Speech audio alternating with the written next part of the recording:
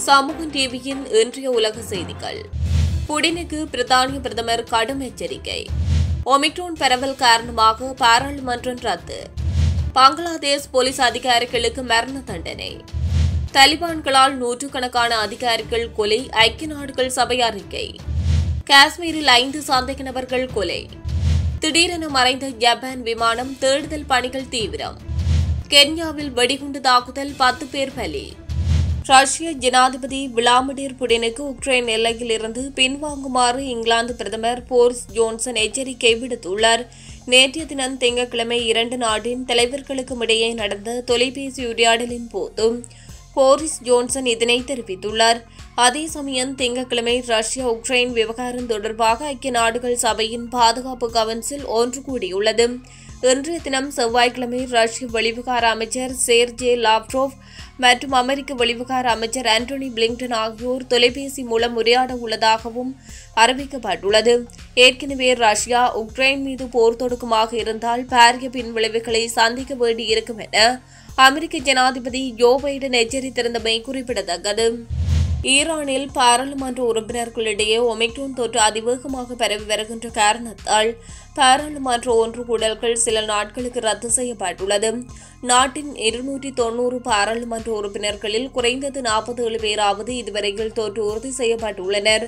இதனால் செவ்வாய் மற்றும் புதன்கிழமைகள் ஏற்பாடாகியிருந்த ஒன்று கூடல்கள் ரத்து செய்யப்பட்டுள்ளன. ஏற்கனவே இரண்டாயிரத்தி இருபத்தோராம் ஆண்டு ஏப்ரல் மாதம் அளவில் அதேபோல பாராளுமன்ற உறுப்பினர்களுக்கு அதிகளவு தோற்று இனங்காணப்பட்டிருந்தமையால் இவ்வாறு பாராளுமன்ற நடவடிக்கைகள் நிறுத்தி வைக்கப்பட்டிருந்தன. இதற்கு முன்னர் இரண்டாயிரத்தி இருபதாம் ஆண்டு முதலாம் அலையில் பலர் இறந்திருந்தமை குறிப்பிடத்தக்கது. இப்போது தொற்று உறுதியாகியுள்ளவர்களில் பத்து பேர் வைத்தியசாலையில் அனுமதிக்கப்பட்டுள்ளனர். பங்களாதேஷில் முன்னாள் போலீஸ் அதிகாரி ஒருவரை கொலை செய்த குற்றத்துக்காக இரண்டு போலீஸ் அதிகாரிகளுக்கு மரண தண்டனை விதிக்கப்பட்டுள்ளது. கடந்த இரண்டாயிரத்தி இருபது ஜூலை முப்பத்தோராம் தேதி சின்கா முகமது பிரசாத் எனும் போலீஸ் அதிகாரி பிரதீப் குமார் தாஸ் லியாகத் அலி எனும் அதிகாரியால் கொலை செய்யப்பட்டிருந்தார். இந்த சம்பவம் சட்டத்துக்கு முரணாக அதிகார துஷ்பிரயோகம் எனும் வகையில் நாட்டில் பெரும் பரபரப்பை ஏற்படுத்தியிருந்தது. இதில் குறித்த போலீஸ் அதிகாரி மாத்திரமன்றி குழுவாக சிலர் கொலை நடவடிக்கையில் ஈடுபட்டுள்ளனர்.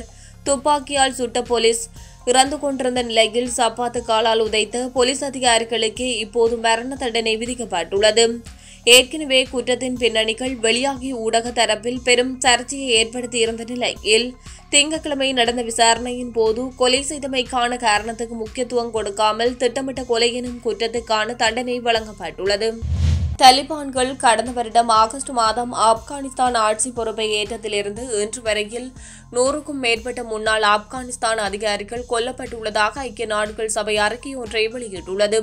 இவ்வாறு கொல்லப்பட்ட அதிகாரிகளில் ஆப்கானிஸ்தான் அரசாங்க சேவையாளர்கள் அமெரிக்க ராணுவத்துடன் இணைந்து செயல்பட்ட அதிகாரிகள் நேரடி அரசாங்க உத்தியோகத்தர்கள் போன்றோர் உள்ளடங்குகின்றனர். இது தொடர்பாக ஞாயிற்றுக்கிழமை ஐக்கிய நாடுகள் சபையின் பாதுகாப்பு கவுன்சில் பொதுச் செயலாளர் ஆண்டோனியோ குட்ரேஸ் குறிப்பிடும் போது இவ்வாறு கொல்லப்பட்ட அதிகாரிகளில் மூன்றில் இரண்டு பங்கு பேர் எவ்வித சட்ட ரீதியான விசாரணைகளும் இன்றி கொல்லப்பட்டுள்ளதாக கூறியுள்ளார். இதற்கு மேலதிகமாக நாற்பத்தி இரண்டு பேர் கைது செய்யப்பட்டு மிரட்டப்பட்டும் உள்ளனர்.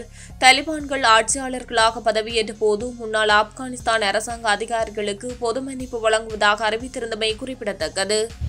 காஷ்மீரில் சந்தேகத்தின் பேரில் ஐந்து பேர் கொல்லப்பட்டுள்ளதாக காஷ்மீர் போலீஸ் பிரிவு தெரிவித்துள்ளது. இவர்கள் பாகிஸ்தான் தீவிரவாத கும்பலைச் சேர்ந்தவர்கள் என சந்தேகிக்கப்படுகின்றது. சனிக்கிழமை இரண்டு பிரிவாக மேற்கொள்ளப்பட்ட விசேட தாக்குதல்களில் ஐந்து பேர் மொத்தமாக இந்திய ராணுவத்தினரால் கொல்லப்பட்டுள்ளனர்.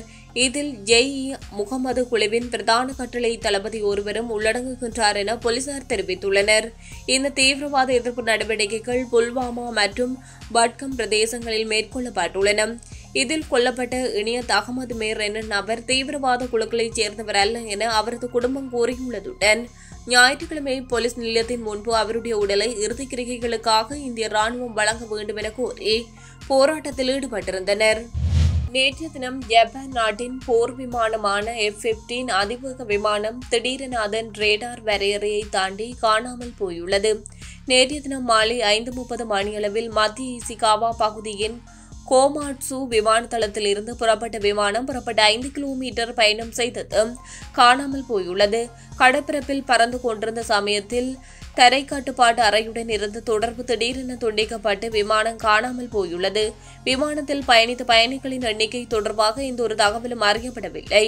ஜப்பான் மீட்பு படையினர் விமானத்தை தேடும் நடவடிக்கைகளில் தீவிரமாக ஈடுபட்டுள்ளனர். ஜப்பானில் ஏற்கனவே இரண்டாயிரத்தி பத்தொன்பதாம் ஆண்டில் எஃப் தேர்ட்டி ஃபைவ் ஏ ரகசிய போர் விமானம் கடலில் வீழ்ந்து விபத்துக்குள்ளாகியிருந்தமை குறிப்பிடத்தக்கது. கென்யாவில் நேற்றைய தினம் மேற்கொள்ளப்பட்ட வெடிகுண்டு தாக்குதல் ஒன்றில் பத்து பேர் பலியாகியுள்ளனர். தீவிரமாக காயமடைந்தவர்கள் அதிகம் என்பதால் இறப்பு எண்ணிக்கை அதிகரிக்கலாம் என பிரதேச தளபதி ஜார்சேடா கூறியுள்ளார். தாக்குதலை நடத்தியவர்கள் அதன்பின் எல்லையை நோக்கி தப்பியோடியதாக போலீஸ் அறிக்கையில் குறிப்பிடப்பட்டுள்ளது. கென்யாவுக்கு அருகில் உள்ள சோமாலியாவிலிருந்து செயல்படும் அல்சபாப் தீவிரவாதிகளால் அப்பகுதியில் வெடிகுண்டு தாக்குதல் நடத்தப்பட்டிருக்கலாம் என போலீசார் சந்தேகிக்கின்றனர். எல்லைப் பகுதியில் பாதுகாப்பு படையினர் மற்றும் பொதுமக்களை குறிவைத்து இத்தகைய தாக்குதல்கள் அடிக்கடி நடத்தப்பட்டு வருகின்றமை குறிப்பிடத்தக்கது. இதுபோல மேலும் பல வீடியோக்களை பெற சமூகம் டிவி நியூஸ் சேனலை சப்ஸ்கிரைப் பண்ணிக்கோங்க. கூடவே பக்கத்தில் இருக்க பெல் ஐக்கானையும் கிளிக் பண்ணிக்கோங்க. அப்படியே உங்களுடைய நண்பர்களுக்கும் ஷேர் பண்ணுங்க.